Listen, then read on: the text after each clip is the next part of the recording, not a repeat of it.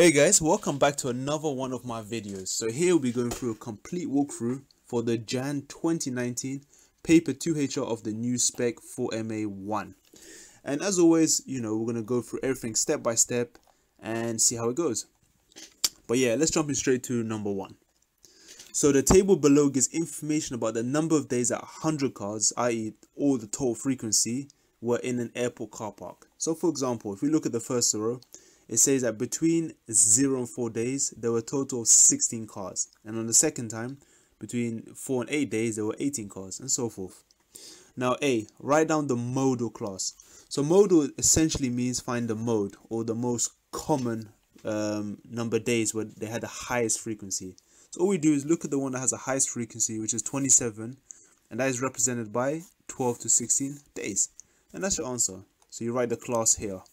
12 less than D less than equal 6D. Okay, part B. Work out an estimate for the mean number of days. Okay, so to calculate the mean, we just need two things, and we always need this. First, we always need the midpoint, and that's literally the midpoint of days. And next, we need something known as fx, where f is the frequency and x is the midpoint. Now, the midpoint refers to the, the, the, the value between the interval. So in other words, between 0 and 4 days, we know the midpoint is 2. Between 4 and 8 days is 6, and so forth. Then you're going to get 10, 14, and 18. By the way, if you're not too sure how to calculate a midpoint, a nice method is to actually sum them up. For example, to get a midpoint of 6, we can say 4 plus 8, which is 12, and then half of it you get 6. Or 8 plus 12 is 20, half of it is 10. And yeah, this is helpful if the values are very complicated. Now to get fx, just multiply across, yeah? So 16 times 2 is 32, and then so on, 18 times 6, which will give us 108. Next one is 190. 27 times 14 is 378. And lastly, 20 times um, 18, uh, 360. And now all you want to do is um, total these up. And when you total them up, you should get to do 1068 all you do now is use the total fx so the mean equals total fx which is 1068 over total frequency which is 100 and doing so will give us a mean number of days of 10.68 and that's it guys. That's one done. Okay number two. So the diagram shows two solid toy bricks a and b okay? A is a triangular prism of length 5 the cross section of A is an isosceles right angle triangle. Okay, so that means you got equal size on both, which is of 6. Brick B is half a cylinder of length 5. That's that's cool as well. You can use it the volume of a cylinder formula. The semicircular cross section of brick B has diameter of 6. Okay, now the volume of brick A is greater than the volume of brick B. How much greater? The answer to 1 dp. Alright, so essentially just got to find the volume of both and then find the difference. So let's find the volume of this first shape here. Now, to work out a volume of, of any given prism, the best way to do this is to work out the area of its face, the cross-section area. So 6 by 6 over 2. That's area of a triangle, 6 by 6 over 2. And then multiply across by 5 by its additional length. And we can put that in the calculator in a second. Now, to work out the volume of um, this um, half cylinder, first things first, we, use, we write down the volume of a cylinder, which is literally um, pi r squared times the height. And then because it's half a cylinder, you just divide it by 2. And you're done. Now all you want to do is just substitute the values in and we've got it.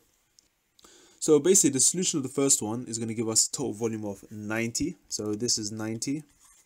Now for the second shape, if you work out the volume of this one, we know that the radius is actually this bit here. It's half the length of the diameter. So 6 is diameter by the way. So cutting this and just drawing a line across, this would be a radius of 3. And the height of the cylinder is 5. So it's going to be pi times 3 squared times 5 all over 2. And if you put this in the calculator, you're going to get 45 over 2 pi. And that's it. Now we just subtract both of them to see which is bigger. So in your calculator, write 90 minus 45 over 2 pi. And you should get an answer to 1 dp of 19.3 centimeters cubed. And that's it. Okay, number three. So here are the first five terms of a number sequence, yeah? Find an expression in terms of n for the nth term. Okay, so before we even do this, we look at the sequence and we ask ourselves what's happening. Well, it looks to me like they're going up in plus sixes.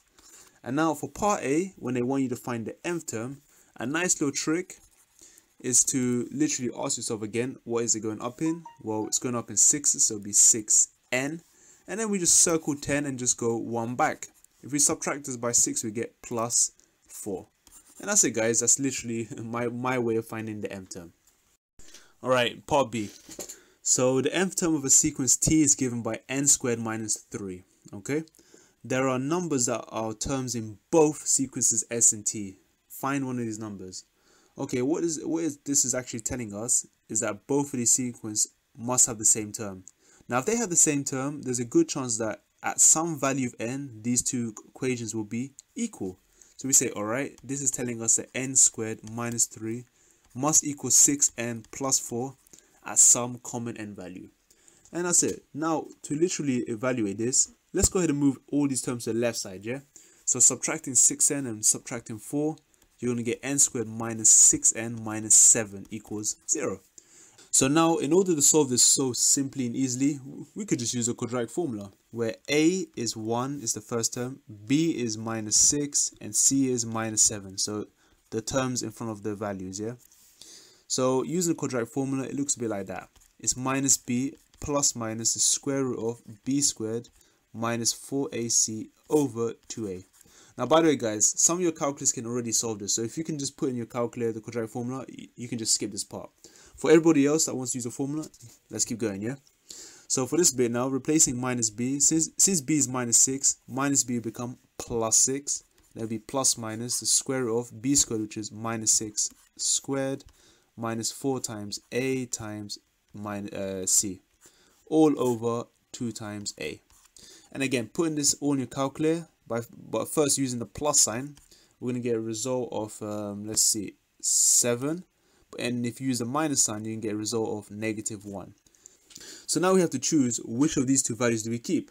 Well, for the nth term, nth term only cares about your position, so the first or second or third. We can't have a negative position, so the only answer is 7. So the value of n must be 7. And by the way, the answer is not done yet. So now we plug in n equals 7 to any of these nth term equations. So I'm just going to plug into this one because I can see it. And when you plug in, you're going to get 7 squared minus 3, which will give us 46. So this is one of the, the terms they're talking about. Okay. Yeah, and that's it, guys. I think we're done. Okay, number four.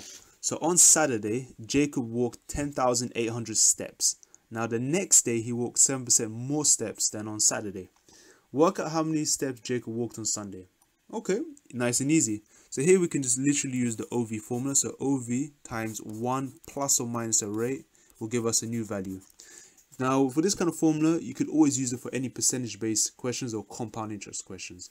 So here we can say that the original value he walked was 10,800 steps and his rate of increase was 7%. So it's going to be 1 plus 7% and this will give us a new value which is in a calculator 11,556 steps.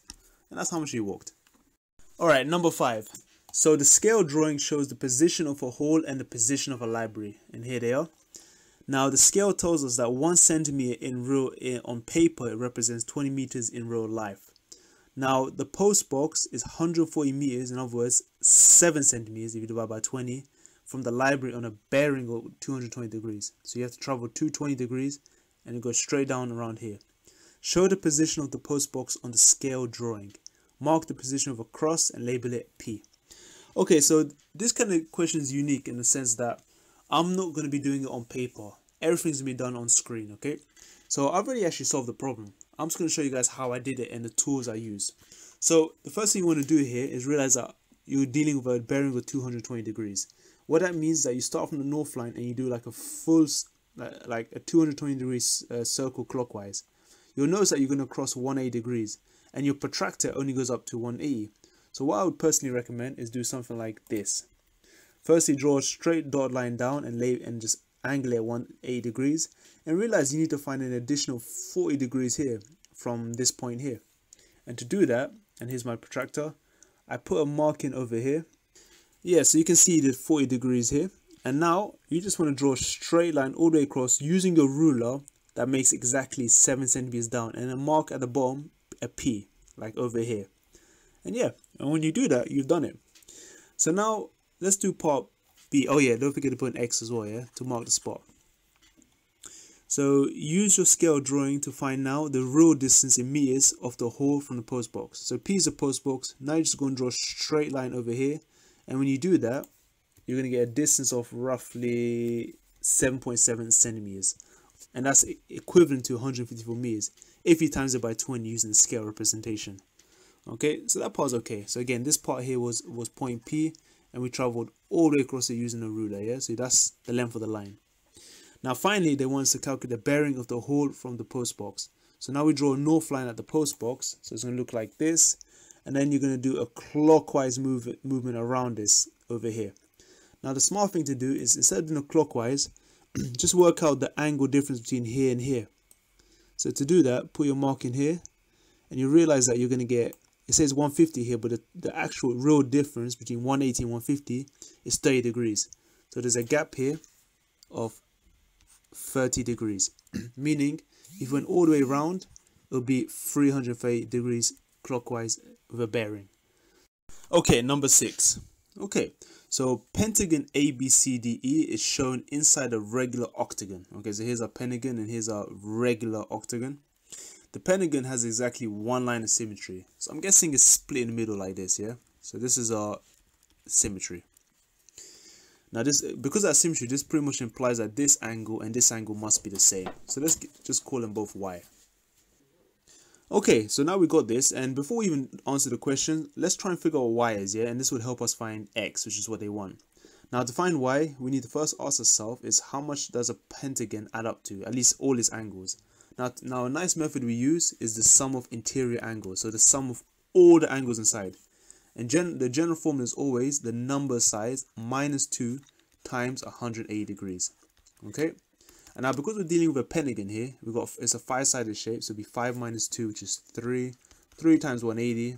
If you put this in a calculator, you get 540 degrees.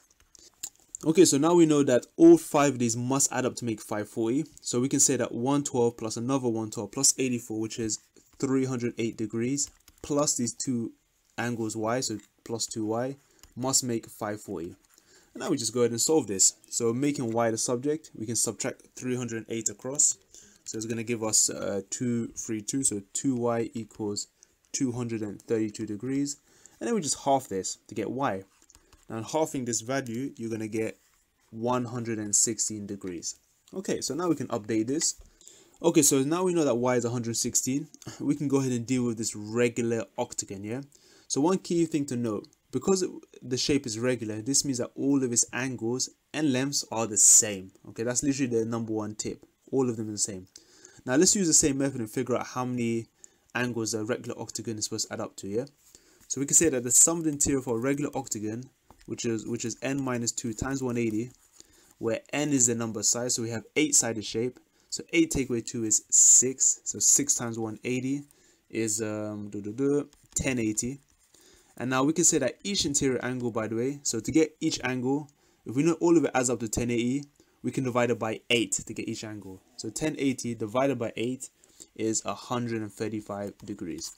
Okay, so this means here, this is 135, this is 135, and that, this means these two combined is 135. So therefore we have 116 plus x must give us 135 degrees. So therefore, just solving for x by minusing 116 across, we're going to get exactly 19 degrees. And that's it guys, question solved. So the diagram shows us a trapezium and they want us to work out the value of y, which is this length over here. Okay, so this one is um, not as obvious, but what I personally recommend, when you get shapes like this and you got angles and lengths mixed up, what I would personally do is go ahead and try and split this up into compound shapes, yeah? So you see this rectangle here and this kind of triangle. If we draw like a little dotted line here, we're going to get a nice right angle triangle. And we know that this length here, which is parallel to that 15, must also make it a 15 centimeter length, yeah? And we can call this little extra length x, yeah? So let's just ignore y for a second. Yeah? y is going to be like the whole thing. The whole thing is y. Now, if we just pull out this right angle triangle for a second, yeah? And we're going to go ahead and try and work out what that x is. Because if you work out x, you can work out the whole thing. Okay, so you got 15 and you got, what is it? we know that the whole angle here is 125. If we split this up, we have a right angle triangle, so this is 90. This means the leftover bit here from 125 90 must be 35 degrees. And that's what we're going to put over here. Okay. Now, to solve this one, this is a straight up SOHCAHTOA problem, yeah? So SOHCAHTOA, so it's a trig problem. And now, when you do a trig problem, we always care about two things, yeah? We care about the relevant side, and the fact it's right angle. So looking at this here, we can say that the length opposite angle is the op, so the O, and the one next to it is the adjacent A. And that's what we care about. Always avoid trying to label every side. Just label the relevant sides, yeah? So because we got O and A, we can say now that that, that involves TOA because TOA has O and A and CA and SO don't. So this means using the formula, we can say we have tan of the angle. So tan 35 must equal the opposite x over adjacent 15. And now all you want to do guys here is rearrange to make x the subject. So timesing 15 across, we're going to have 15 times tan 35 equals x. And that's it. Now if you just enter that in your calculator for a second, you're going to get an exact um, length of uh, well of about 10.5. Now I guess we're done. So since we know that this little length must be 10.5 and of course this whole thing is 37 which means this length is the same which is also 37 we know that the total length y must be 37 plus 10.5 and when you do that you get a total length of 47.5 uh, centimeters. And that's it